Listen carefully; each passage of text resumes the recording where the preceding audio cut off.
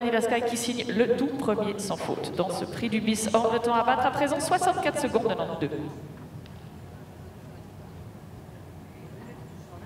Retour en Suisse et bienvenue à Jessie Putala et à Canaria.